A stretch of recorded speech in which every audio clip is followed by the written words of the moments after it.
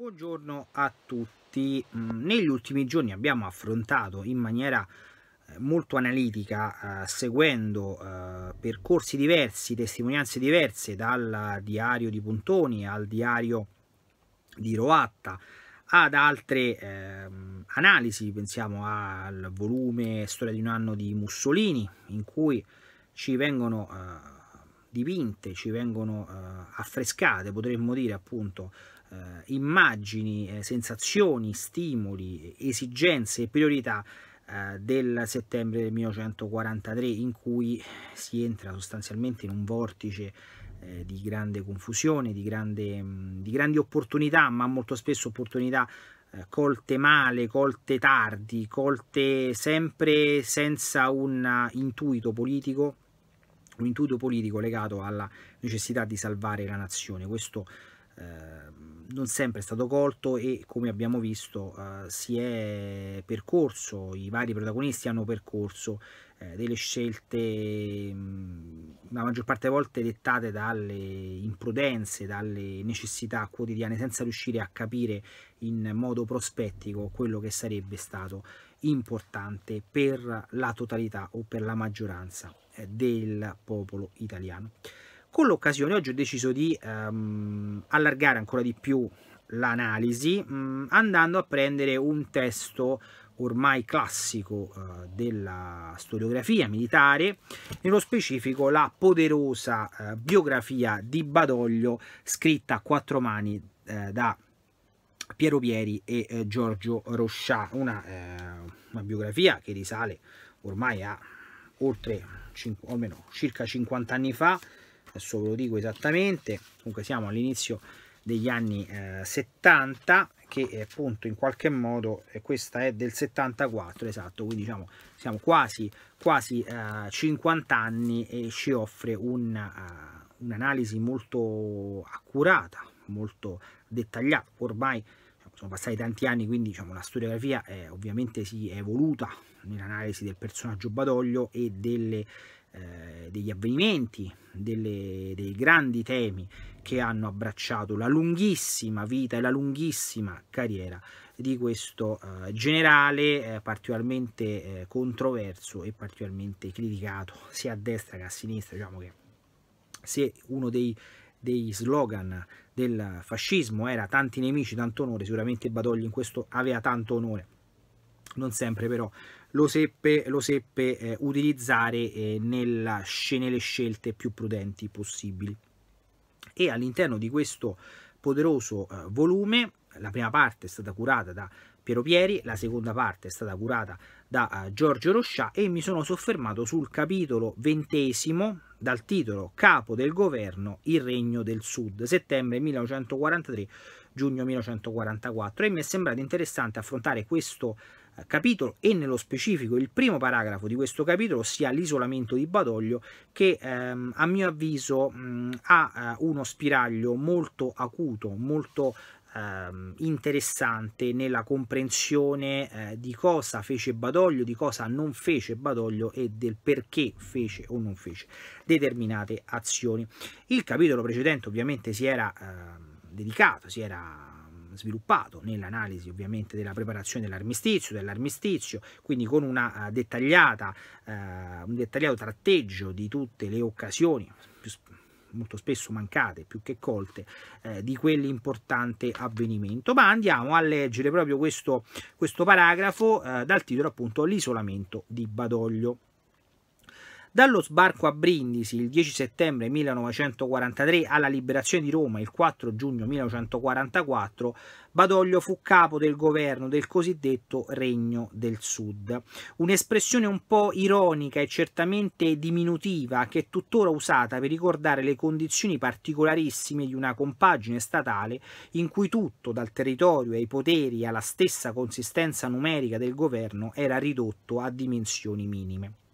Su questo periodo e questi problemi purtroppo anche la storiografia e la stessa memorialistica hanno uno sviluppo ridotto, tanto che le fonti angloamericane vengono ad avere un ruolo predominante. Sappiamo che le cose sono ovviamente cambiate, vi sono stati numerosi studi nel frattempo in questo cinquantennio e quindi diciamo, abbiamo un eh, rafforzamento delle eh, analisi, delle descrizioni di questo periodo. Il volume autobiografico di Badoglio in particolare è una fonte di scarsissima attendibilità per i troppi silenzi, le reticenze calcolate, i falsi veri e propri che finiscono con l'infirmare anche le pagine più autentiche. Ci sembra comunque che le linee principali delle vicende del Regno del Sud emergano con sufficiente chiarezza anche dai non molti volumi utilizzabili e perciò tentiamo di indicare quale fu il ruolo di Badoglio e quale la politica che egli portò avanti nei nove mesi in cui fu ancora capo del governo dopo la proclamazione dell'armistizio. Il Regno del Sud partiva da una situazione fallimentare che andava certamente al di là di, di qualsiasi previsione. La flotta da guerra si era consegnata di buon ordine nelle mani dei vincitori, ma questo era tutto l'attivo del bilancio dell'8 settembre. L'aviazione si era praticamente dissolta, i piloti disponibili erano pochi e il materiale così antiquato che anche in seguito poté essere impiegato solo per i fornimenti alla guerriglia jugoslava. Lo sfacelo dell'esercito era totale, evidente e irreparabile. La presenza di quattro divisioni italiane in Puglia nei, nei primi giorni dopo l'8 settembre non pareva neppure sufficiente a garantire Brindisi da una puntata tedesca. Tutta l'organizzazione militare si rivelava inutilizzabile ai fini bellici, tanto che in ottobre le difficoltà per l'approntamento dei 5.000 uomini del raggruppamento motorizzato, un'utilità regolare che combatté con gli anglo-americani nell'inverno, siamo appunto a Montelungo, che sarà appunto il riscatto, il risveglio dell'esercito italiano, si rivelarono quasi insormontabili, malgrado l'importanza politica dell'iniziativa. Il territorio nazionale era occupato interamente dai tedeschi o dagli anglo-americani. Il riconoscimento dell'autorità del governo di Badoglio su quattro province inglesi, eh, scusate, quattro province pugliesi fu poco più di una finzione giuridica un lapsus freudiano visto appunto quello che dicevo sostanzialmente erano eh, di autorità militare mh, eh, alleata e, ehm, mh, il territorio nazionale era occupato interamente dai tedeschi scusate, ehm, i quali controllavano tutte le leve dell'attività economica delle banche ai salari, dalle industrie alle importazioni. Quindi vediamo come l'elemento importante dell'autorità, eh, autorevolezza imperio alleato. Le speranze dei comando anglo-americani eh, di ricevere dagli italiani un consistente aiuto militare si erano rivelate illusorie, ove si escluda la consegna della flotta, perché la profondità della crisi dell'esercito italiano dimostrava chiaramente che le sue divisioni non avrebbero potuto aiutare i tedeschi come non avevano aiutato gli anglo-americani. Si capisce perciò la durezza del primo giudizio di Eisenhower, 13 settembre. Qui cita eh, Eisenhower. Gli italiani sono stati così deboli che abbiamo avuto poco o nessun aiuto pratico da loro. Comunque, quasi sulla base di un puro bluff, abbiamo ottenuto la flotta italiana a Malta e grazie alla resa italiana siamo stati in grado di correre entro Taranto e Brindisi, ove nessun tedesco era presente. Le situazioni in Sardegna e in Corsica mostrano quanto di poco aiuto e inerti siano realmente gli italiani. In entrambi i posti essi disponevano di sufficiente forza per buttare a mare i tedeschi. Invece, a quanto pare, essi non hanno fatto nulla, non vi è stato nulla nell'effetto prodotto che somigliasse a quanto era nel regno delle possibilità. E quindi qui andiamo a capire appunto eh, l'altra faccia della medaglia, perché eh, gli inglesi e gli americani hanno così poco, ehm, poco credito, eh, poca considerazione degli italiani e questo è un elemento che era tornato nelle, nelle lettere, sopra, nelle pagine soprattutto di Roatta, il perché gli anglo-americani non davano possibilità eh, di agire da parte degli italiani e questo spiegato perché sostanzialmente non si fidavano, perché erano gli anglo-americani convinti che gli italiani nulla valessero, perché nulla avevano fatto a cavallo dell'8 settembre, almeno sotto l'aspetto puramente ehm, strategico. Poi sappiamo come i lutti, i sacrifici vi furono, ma sono sostanzialmente poi improduttivi e questo è quello che interessava agli americani, non interessava il puro valore, l'eroismo, l'eroismo degli americani non fregava nulla, gli interessava cosa avete fatto, l'avete tenuta Roma, l'avete avete tenuto eh, la, la, Sardegna, avete tenuto i Balcani, avete tenuto determinate province, se, se, la risposta fosse stata sì, allora gli, itali gli italiani potevano valere qualcosa. Se invece eh, gli italiani avevano fatto il, mi il minimo eh, della, uh, delle possibilità, allora a quel punto eh, la, uh, il credito che gli anglo-americani avrebbero potuto concedere sotto l'aspetto politico, militare ed economico eh, nel riesame delle clausole della resa, diciamo che era da guadagnarsi giorno dopo giorno. Ma torniamo al passo di Rochat.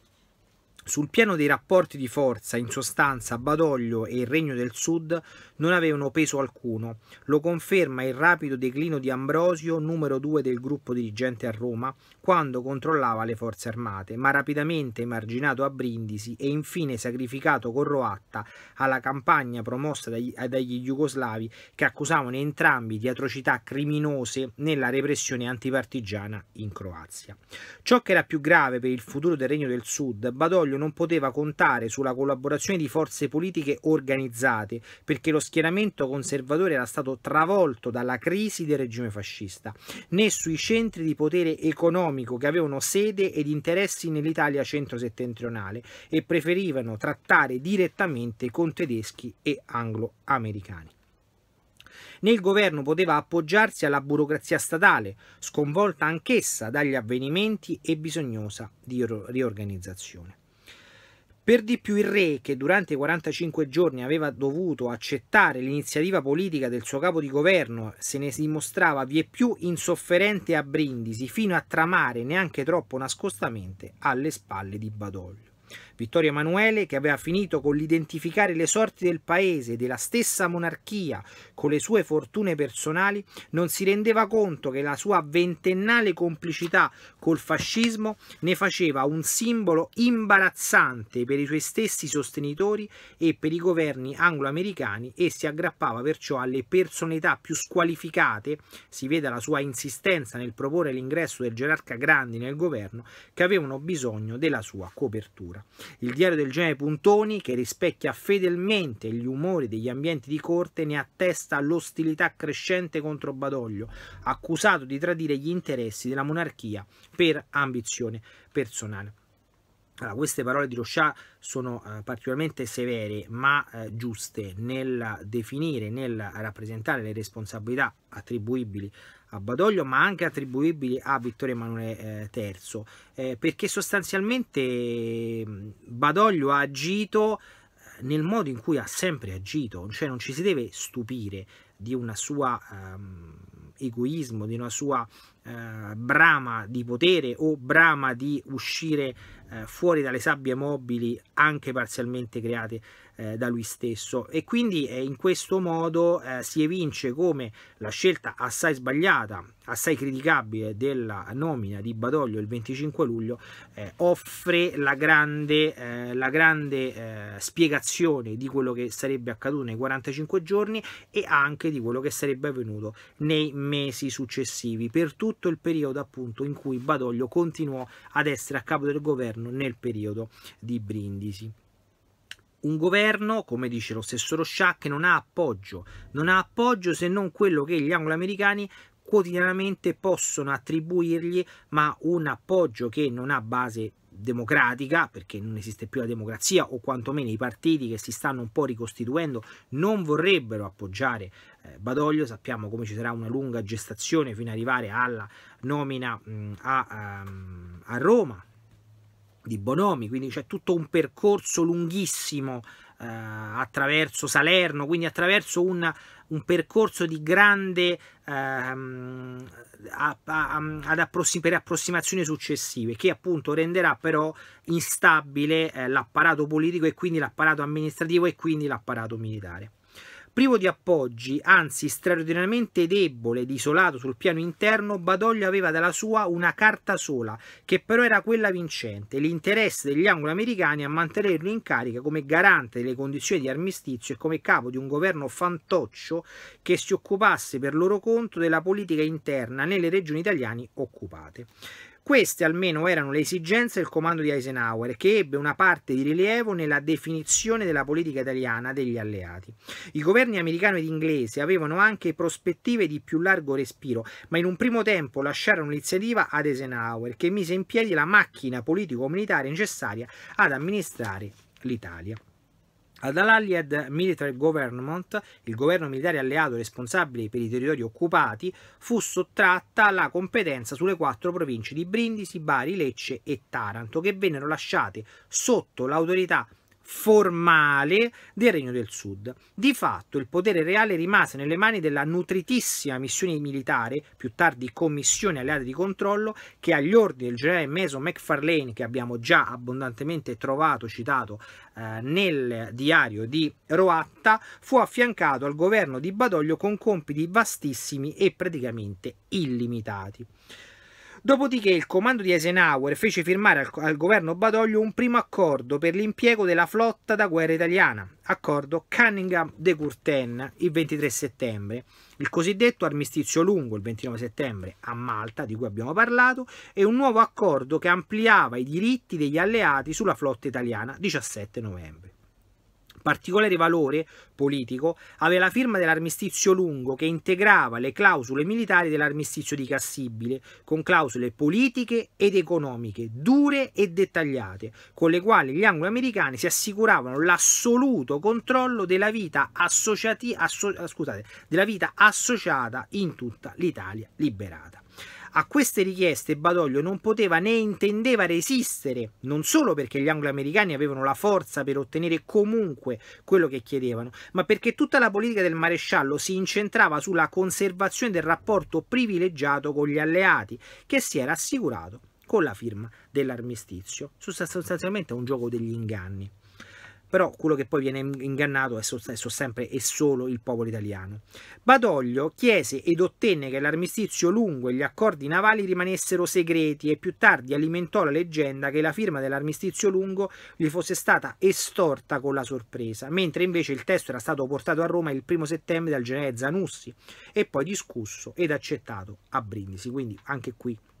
una serie di menzogne, una serie di macchinazioni da parte di Badoglio per cercare di rimanere il più puro possibile, anche se poi sappiamo che puro non era per nulla. Ottenne anche una modifica formale del testo dell'armistizio che eliminasse l'espressione di resa senza condizioni. Si tratta di piccole cose che confermano la disponibilità di Badoglio e il suo timore di trovarsi scoperto dinanzi all'opinione pubblica. E questo è il vero obiettivo di Badoglio, quello di essere sempre presentabile, di avere una faccia presentabile di fronte a tutti, anche se poi alla fine a costo di nascondere la polvere sotto al tappeto.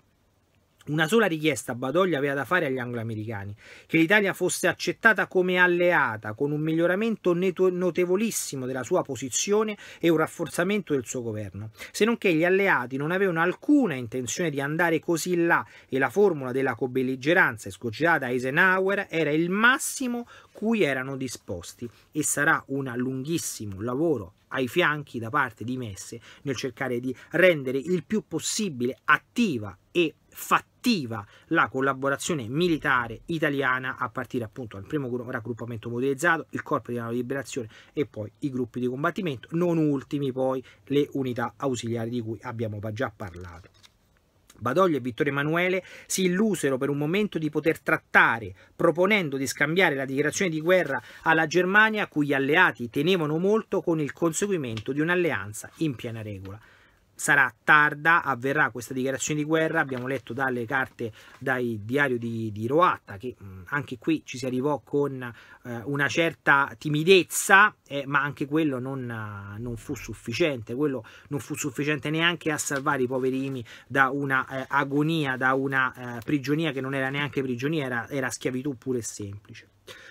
Fu specialmente il re che non aveva capito quanto fosse mutata la situazione ad irrigidirsi, spalleggiò da Acquarone ed Ambrosio, Badoglio in un primo tempo tentò di arroccarsi dietro la ostinazione di Vittorio Emanuele, poi dinanzi al deciso atteggiamento degli angloamericani si assunse il compito di convincere il re a cedere. La dichiarazione di guerra fu comunicata alla Germania il 13 ottobre, cinque giorni più tardi i governi alleati riconobbero la co-belligeranza dell'Italia, cioè un'alleanza di fatto che però non pregiudicava il diritto dei vincitori ad esigere l'integrale applicazione delle condizioni di resa e io aggiungerei per quale motivo avrebbero dovuto fare il contrario, visto e considerato che la Gran Bretagna era stata in guerra con l'Italia per oltre tre anni, la Francia, seppur con delle ehm, nuove istituzioni,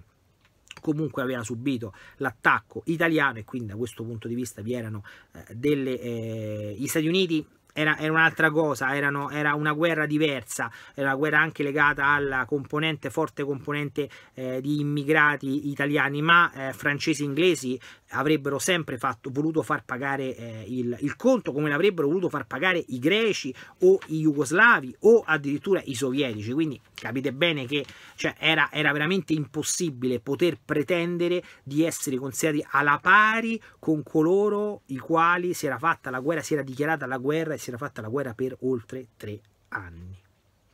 L'episodio che l'effetto di confermare ai comandi anglo-americani che Badoglio, più aperto e disponibile del re, era l'uomo di cui avevano bisogno e quindi continua un po' questo gioco degli inganni.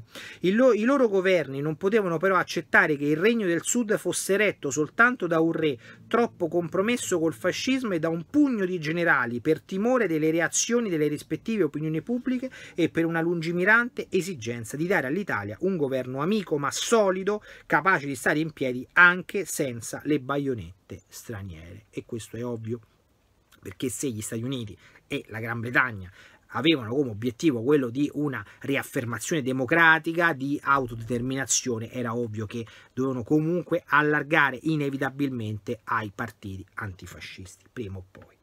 La richiesta di un ampliamento del governo Badoglio con il ricorso ad esponenti dell'antifascismo fu presentata dagli alleati a più riprese, a partire dalla metà di settembre, e in termini sempre più pressanti. Lo stesso Eisenhower si fece portavoce del desiderio del suo governo che Carlo Sforza, ministro degli esteri con Giolitti nel 1920-21 e poi eusole antifascista di, di larga notorietà negli Stati Uniti, potesse entrare nel governo Badoglio. Questa linea culminò con la dichiarazione resa a Mosca il 2 novembre dai ministri degli esteri americano, britannico e russo, in cui la distruzione del fascismo veniva presentata come l'obiettivo della politica degli alleati in Italia ed era energicamente richiesto il ripristino delle libertà democratiche nel Regno del Sud e l'ampliamento del governo Badoglio con esponente antifascisti.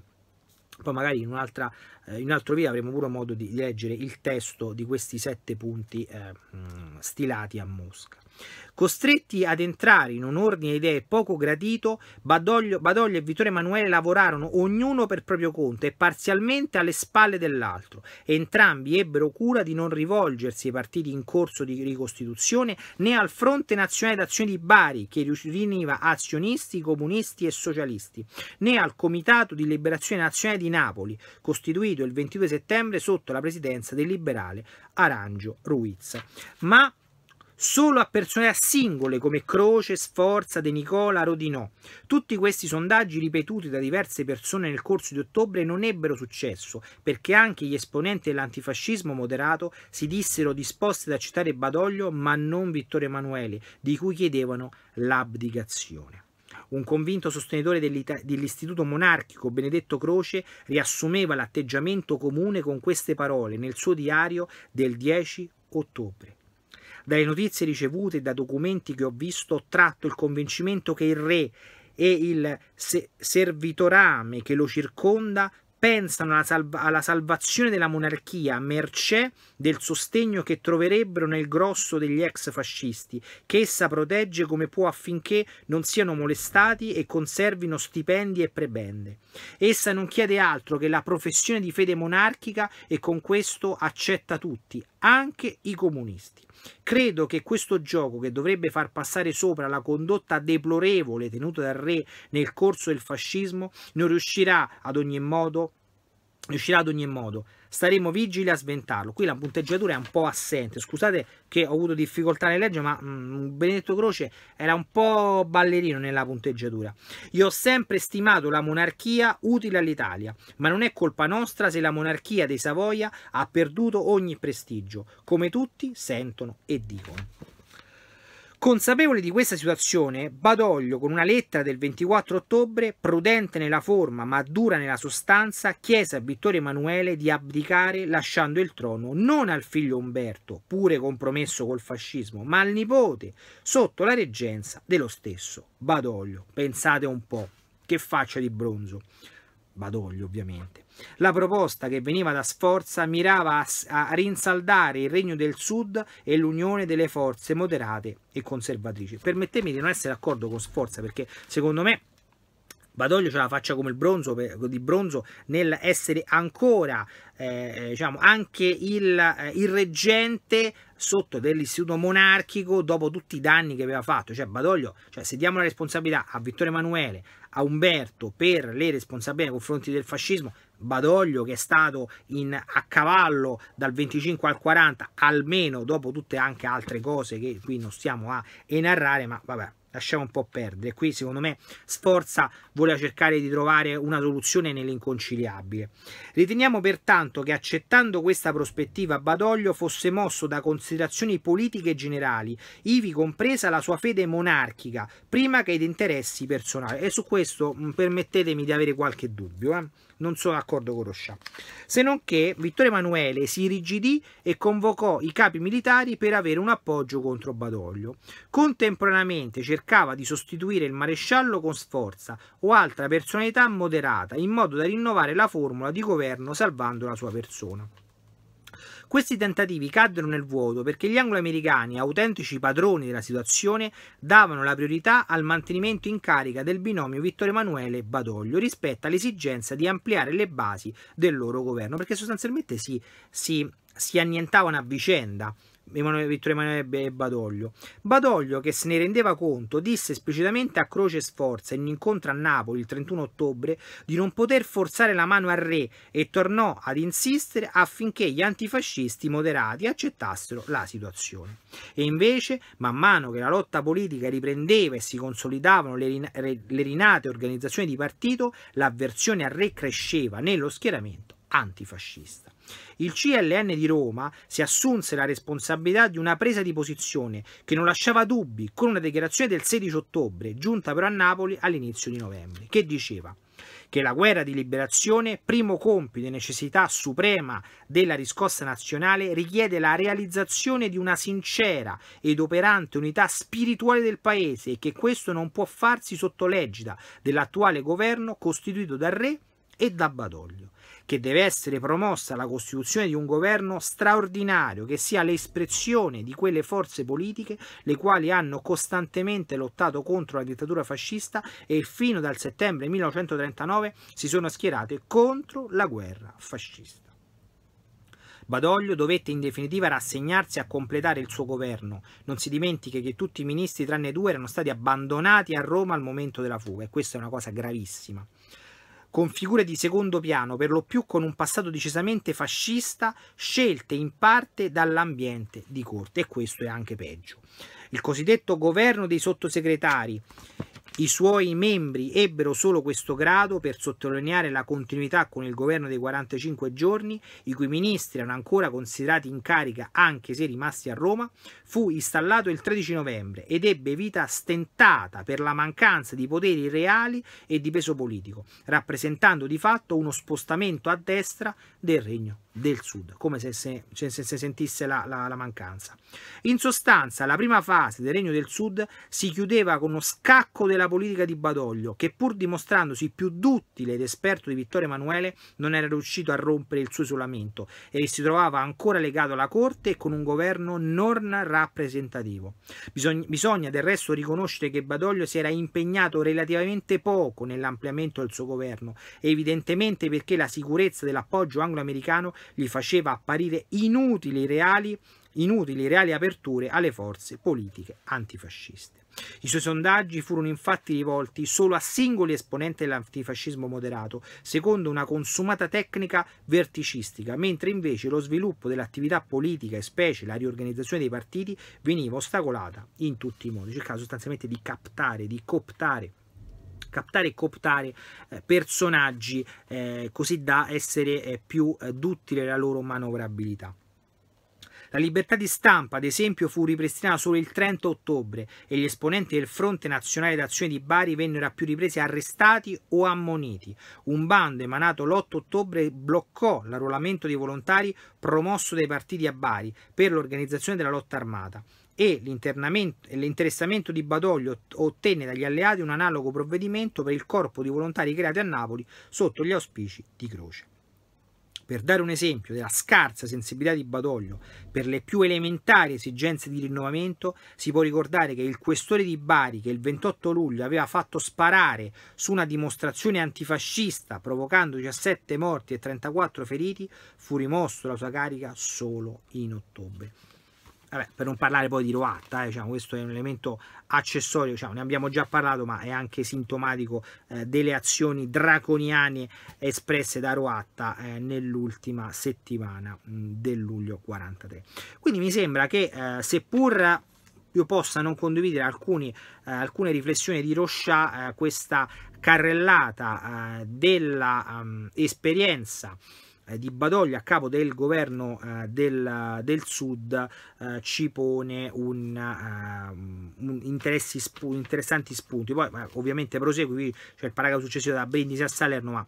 poi sarebbe troppo lungo. Quindi però eh, mi interessava perché eh, avevo trovato questo brano particolarmente calzante e particolarmente affine alle letture che abbiamo fatto nelle ultime, eh, nelle ultime settimane dei diari di Puntoni e di Roatta. Quindi, mh, mm, tornando a, a noi, ehm, io vi saluto, vi ringrazio, vi invito a mettere mi piace, iscrivetevi al canale e alla prossima con altri interessanti eh, spunti, letture, considerazioni e anche vostre, eh, vostri commenti. Ciao!